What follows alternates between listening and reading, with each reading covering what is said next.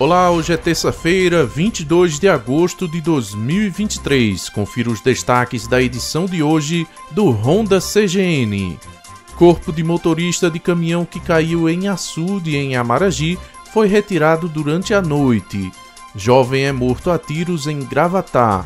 E comerciante de Caruaru é encontrado sem vida dentro de carro em Belém de Maria. Essas e outras informações a partir de agora.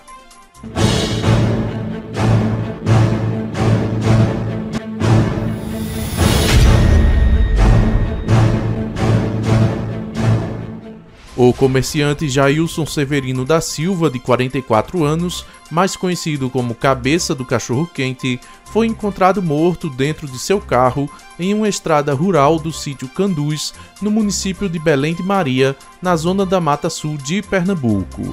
Jailson residia em Agrestina, mas trabalhava em Caruaru, onde possuía um comércio de cachorro quente. Segundo familiares, ele teria saído de casa com destino a Caruaru.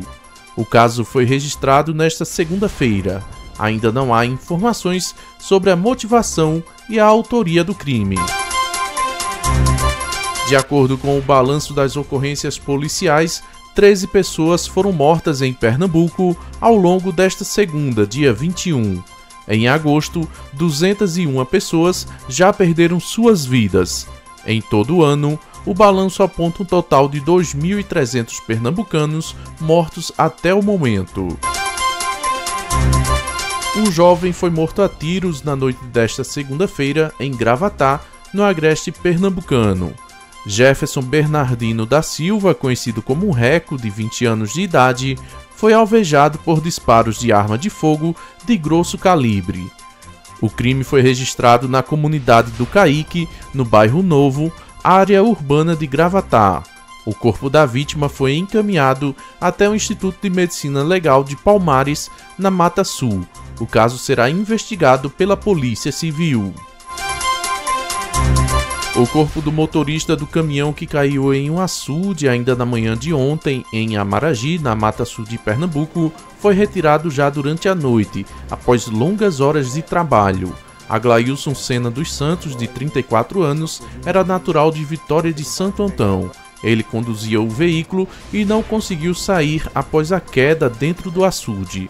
Outras duas pessoas que também acompanhavam o motorista na viagem foram socorridas até o Hospital Alice Batista, em Amaragi, de onde foram transferidas até o Hospital da Restauração, no Recife.